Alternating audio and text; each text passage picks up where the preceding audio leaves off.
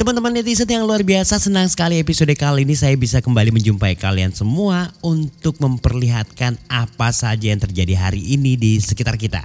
Dan yang pertama, saya ajak kalian melihat proses pembangunan Anjungan Cempai di Kecamatan Soreang. Sepertinya sudah mulai direalisasikan ya oleh pemerintah Kota Parepare dan menurut Topan Pawe nih wali kota dua periode di Kota Habibie ini oh, ini dikutip dari Tribun Timur ya. Dana yang digelontorkan itu mencapai 20 miliar. Nah, seperti yang kalian lihat nih, puluhan mobil truk ini membawa tanah timbunan ini sudah bergerak dari kemarin bolak-balik bawa tanah sampahnya juga dikeruk dan sementara itu perahu nelayannya itu diarahkan untuk agak menjauh dari lokasi pantai nanti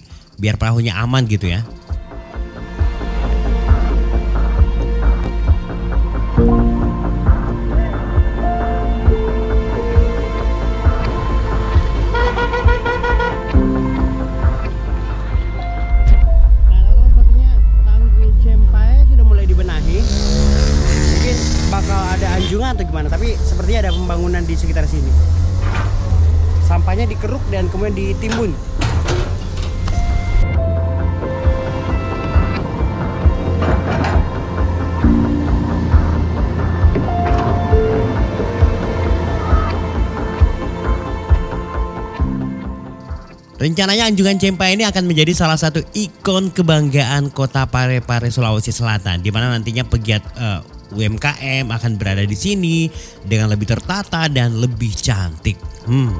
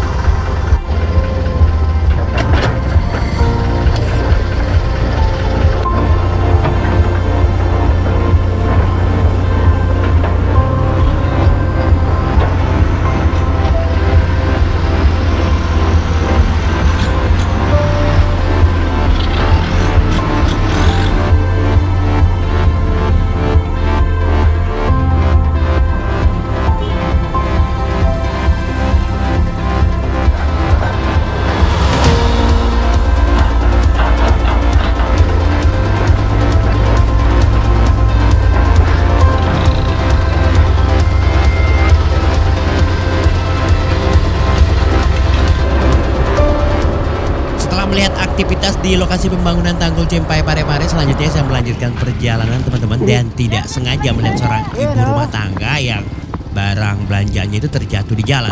Nah, saya pun mampir sejenak untuk membantu dan terlihat juga nih banyak yang ikut membantu memungut sayuran ibu yang berserakan ini. Ayo, ayo. Ini tentu menjadi bukti kalau di Parepare ini jiwa kepedulian itu terhadap sesama sangat-sangat tinggi. Keren.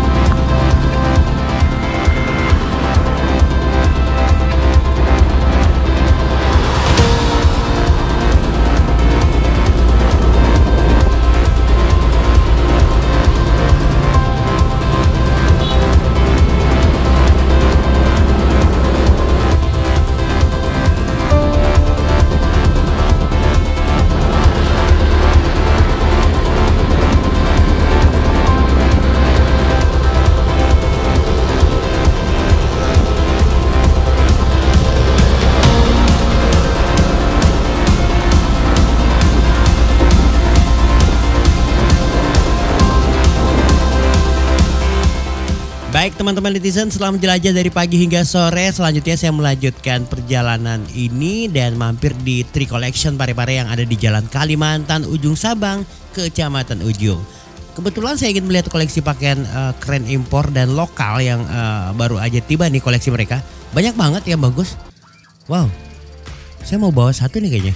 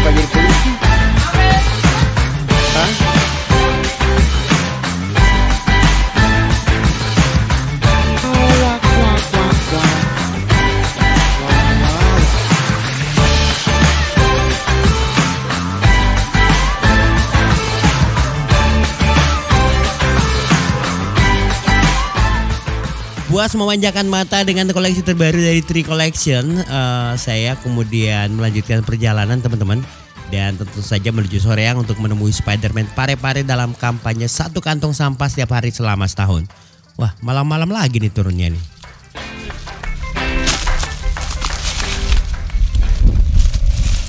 Halo, salam jumpa. Ketemu lagi kita hari ini dan seperti biasa kita akan mengumpulkan satu kantong sampah dari sini untuk dikembalikan ke darat. Tetap semangat, salam jumpa. Nah,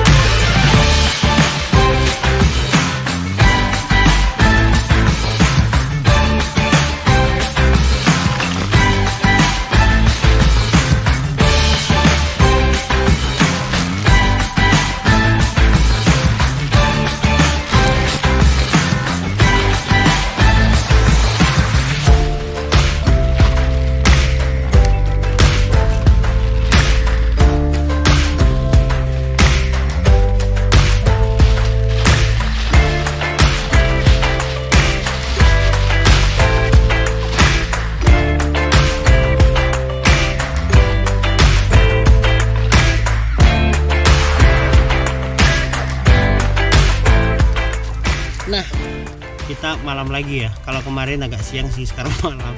Dan eh, sampah plastik memang masih menjadi eh, sampah terbanyak di sini. Dan inilah yang misalnya kita kampanyekan. Kalau punya plastik atau apa, jangan dibuang sembarangan. Kalau yang lagi viral itu yang buang-buang selebaran, jangan di jalan. Eh, meskipun bukan plastik ya, tapi yang jelas jangan membiasakan diri membuang sampah dari mo- mobil dan segala macamnya. Mari kita lanjutkan.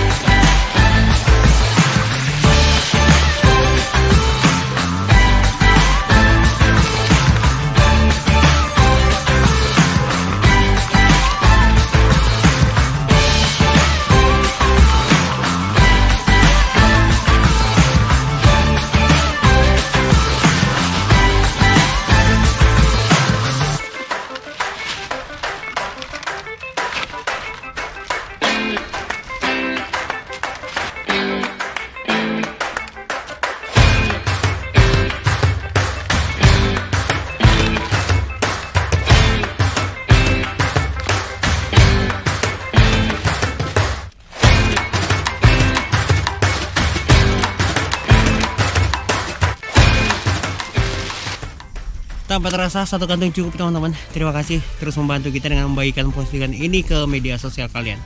Terus jaga lingkungan. Lihat di sana ada daerah, ada negara yang nggak pernah turun salju, tiba-tiba turun salju. Kebakaran besar di uh, sebuah negara juga. Itu adalah pertanda bahwasanya lingkungan kita di bumi ini sudah tidak sehat.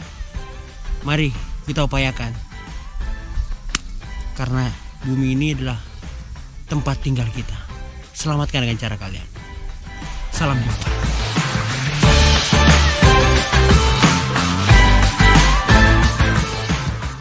Baik kawan-kawan luar biasa seperti untuk episode kali ini cukup sekian dulu jangan lupa subscribe sebagai bentuk dukungan kalian pada kanal ini dan sampai ketemu besok salam jumpa.